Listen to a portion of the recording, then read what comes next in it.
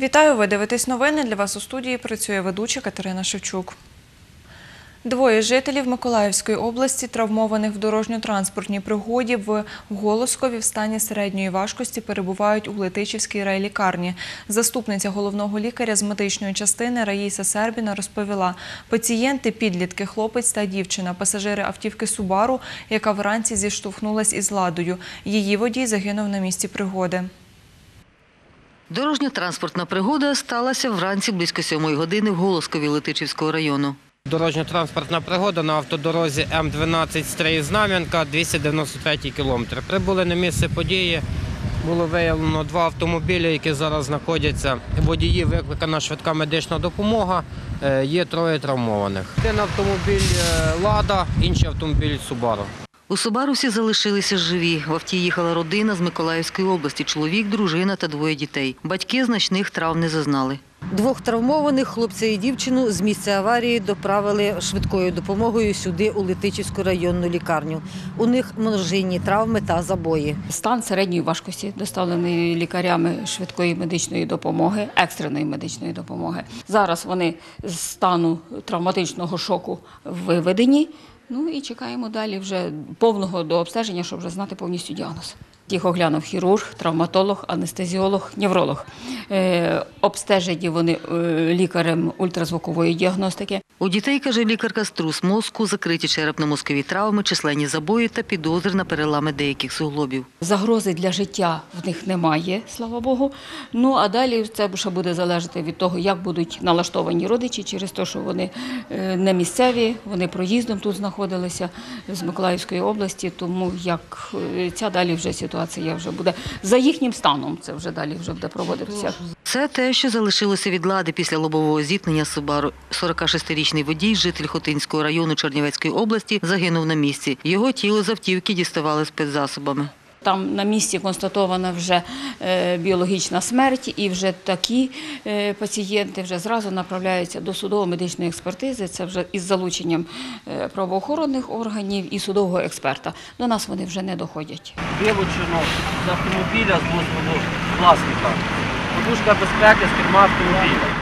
На час зйомки слідчий відділу розслідувань ДТП головного управління Нацполіції в області Сергій Гонтар разом із понятим і експертом-криміналістом обстежували місце пригоди, опитували свідків. Жодних версій до завершення слідчих дій Сергій Гонтар не оприлюднив. Проводиться огляд місця дорожньо-транспортної пригоди, буде призначений ряд експертиз буде вирішено питання щодо винної особи. На даний час встановлено, що водій ВАЗа загинув на місці дорожньо-транспортної пригоди. Це все, що я на даний час можу повідомити. Світлана Поробок, Олександр Горішевський. Новини на Суспільному. Хмельниччина. Станом на 16 годину залишаються знеструмленими 78 населені пункти області внаслідок буревію, що пройшов в ніч з 23 на 24 лютого. Про це Суспільному розповів керівник відділу зв'язків з громадськістю ПАД Хмельницькобленерго Ростислав Балема. За його словами, працівники роблять все можливе, щоб до ранку повністю відновити електропостачання. Нагадаю, від ранку було знеструмлено 227 населених пунктів області внаслідок нічного буревію. За словами Ростислава Балема, негода спричинила на території Хмельниччини значні ушкодження електромереж. 25 у Старокостянтинівському району, по 20 у Волочиському та Теофіпольському, по 15 у Білогірському, Городоцькому, Красилівському та Новоушицькому районах. Загалом в області досі залишаються знеструмленими 33 із 111 повітряних ліній та 277 із 909 трансформаторних підстанцій. Ліквідовували наслідки негоди і працівники головного управління Держслужби з надзвичайних ситуацій в області. Про це розповів прес-офіцер відомства Віталій Гречанюк.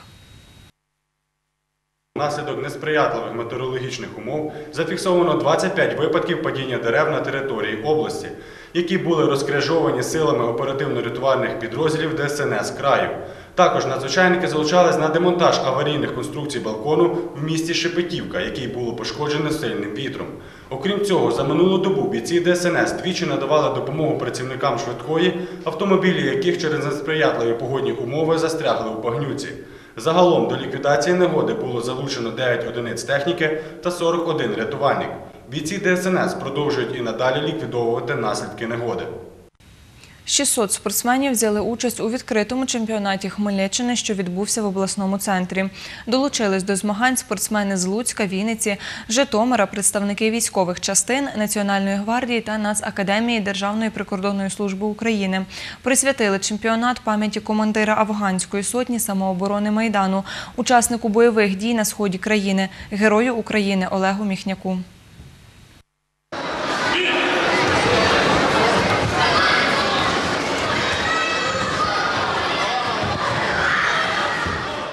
Суддя Андрій Чудик розповідає, станом на 11 годину є дві перемоги. Є вже один, е, одна дострокова перемога е, шляхом двох нокдаунів. Є одна дострокова перемога з дачею спортсмена. Тобто високий рівень досить демонструють спортсмени. Учасник бойових дій в Афганістані, керівник військово-спортивного клубу Омега Держприкордонслужби України з Житомира каже, його вихованці завжди беруть участь у цих змаганнях. У вашій області, в принципі, проводиться тільки на честь вшанування героїв е, Небесної Сотні, афганської війни. От змагання іменно от в вашому регіоні проводяться, в Хмельницькій області.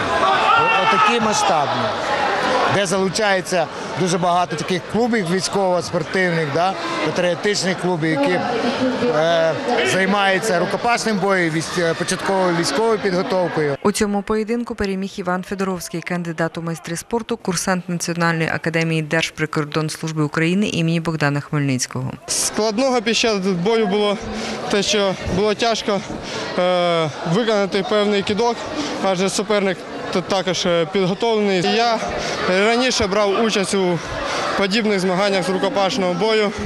Е, вони загартовують мій характер. Суперник, в принципі, був не складний, але потрібно більше тренуватися. Ці змагання розвивають е, швидкість руху,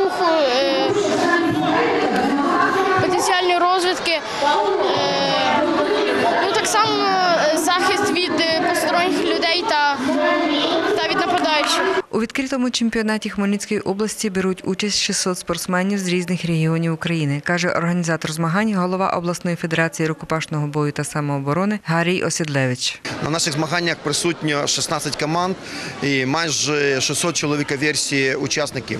Ми проводимо змагання в двох е, версіях: це версія легкий контакт е, до першої технічної дії е, і версія дозований контакт, де застосовується ем, кіткова техніка, больові та задушливі приема. Тетяна Ворожцова, Дем'ян Цегольник. Новини на Суспільному. Хмельницький. Це остання інформація цього випуску. Більше новин дивіться на нашому офіційному сайті та на сторінці у Фейсбук. Побачимось.